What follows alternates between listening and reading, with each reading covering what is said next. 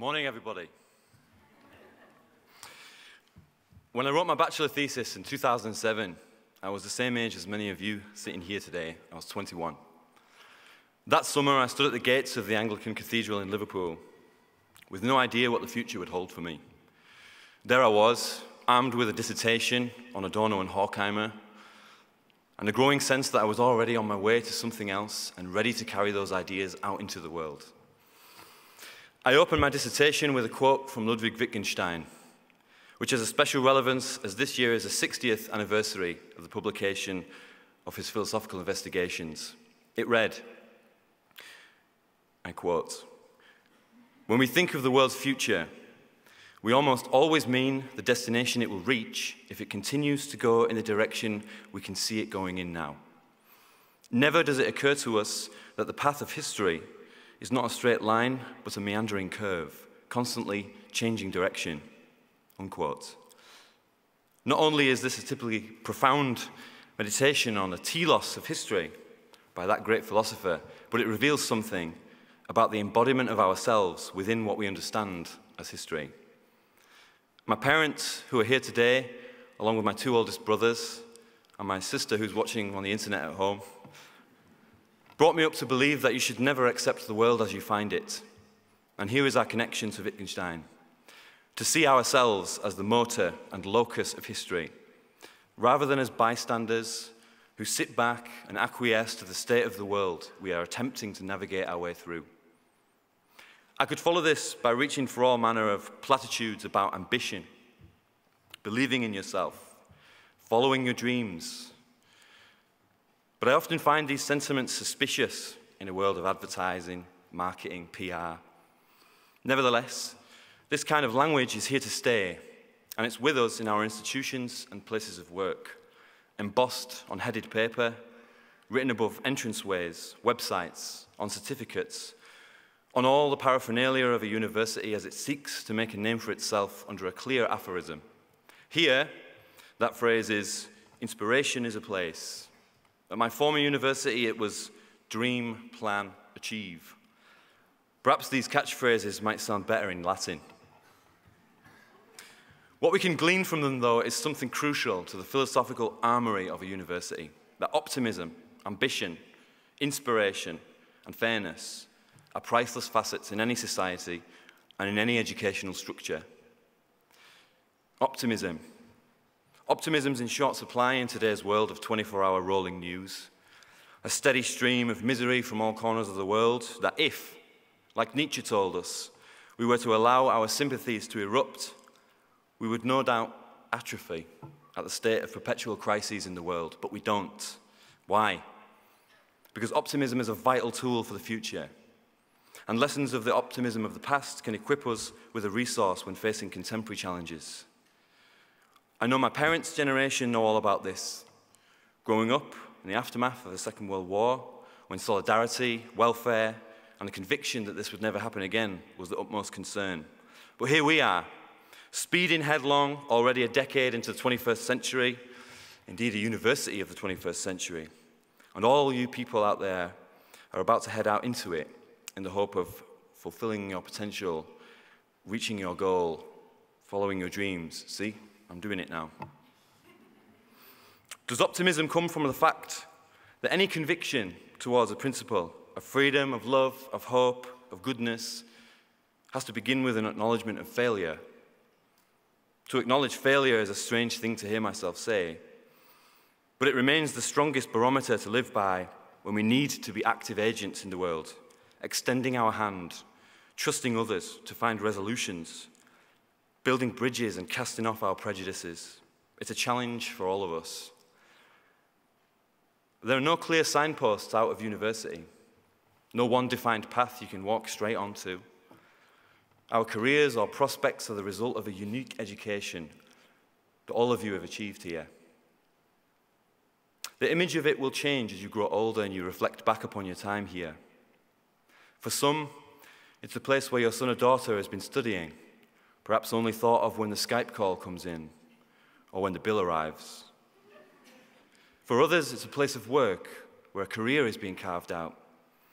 For some, it's a place that just pays the bills but for us students, it's a launch pad to an adult life, where once equipped with these indispensable tools, we can achieve wonderful things.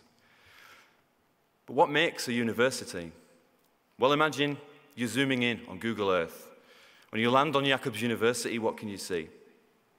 The admin building, where all the letters get signed, the forms organized, the events planned, the admissions taken care of, to the engine room. From there, you can see the four research buildings, where the engineers and scientists are working on helixes, isotopes, cell cultures, checking against immutable laws from old white fathers. You have the computer whizzes deciphering, encrypting, writing in a language that no one else knows. You have the social scientists working out the ideal time of day to be most fruitful with writing a thesis. then there's the humanities students, my comrades, who, whilst the engineers are busy working out the structural laws of bridge building, we're the ones asking what a bridge could represent in society. What's the history of bridge building? And how does the idea of bridge work as a metaphor? Next comes the library, the central hub of academic life. A wonderful place for some, unmentionable boredom for others. We move towards the colleges, where lives are being led, loves are lost and found, where the kinds of conversations take place that alter the course of a life. There's the interfaith house, offering solace and a place of worship for people who want that quiet retreat from the hustle and bustle of a busy schedule. And then, of course, there's the buildings where we really come alive the theatre, the sports field and hall, the music rooms, the dance halls. This is the missing piece of the jigsaw. Without these things, the world would be black and white, and we could not hold a mirror to ourselves and learn who we really are. So, the beauty of all this is there's no one Jacobs University. It's made by those who work here, constructed in the minds of those who want to give their all to it and make it more than just the sum of its parts. Jacobs is fashioned by those who recognize its possibility in affecting great change now and in the future. For the professors, teachers, and staff, they have the privileged status of those who will never know where their influence stops. Many years from now, I know there will be a moment when a small email is typed up a message from a former student to a former professor, thanking them for that inspirational lecture or that course or that module. I know already that I will never underestimate the value of what my professors have taught me here, and I will never forget them. But what makes an education? Do we educate ourselves to make better use of our leisure, as Aristotle knew? Or is this a reductive opposition we could do without? It's certainly more than certificates, modules, lectures, theses, presentations, lab reports, quizzes, forms. What I want to say goes beyond the boundaries of a university. It's at the heart of any discussion about society, about rights, obligations, responsibilities. It's in the duty of inheritance from one generation to the next. At the entrance to the Reimar Lust Hall, you see the words from Klaus Jacobs. It's a very simple statement, easily parodied. But I want to reassert that once more here today. Everyone, rich or poor, man or woman, young or old, has the right to a good education. Those qualities that future employers will be looking for are those curious things that can't be taught in a classroom civility, trust, a good work ethic, generosity, willingness to listen, an awareness of the other side of the argument, and respect for those who have fundamentally different views, beliefs, or creeds. We are all individuals, but through our diversity, we can create a unity that is more powerful than any imposed doctrine. That's what a great university can give you. That's what Jacobs University stands for. So you all know what it takes to get on. You've been faced with other cultures, other tongues, other ways of doing and seeing things. Yes, Having a collective language facilitates this coming together. But you all know how important your languages are, each person with his or her own worldview. Thank you, Professor Trabant. How dull would it be if we all ate the same food in the same way at the same times? How boring would life be if we had to submit ourselves to a world that doesn't celebrate diversity, individual talent, and the power of the multitude? In an increasingly globalized world, where you're never more than 300 meters from your nearest Starbucks or McDonald's, I've got many reasons to feel angry at what I see.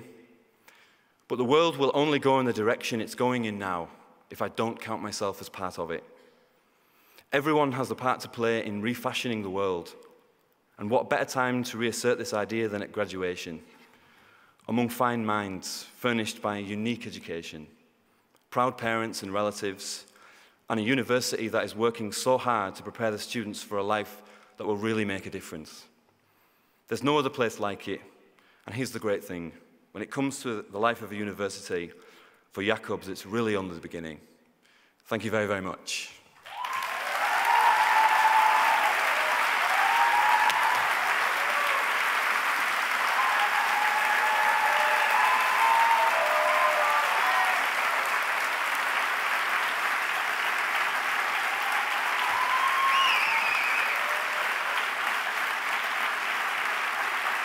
You might as well stand up as well.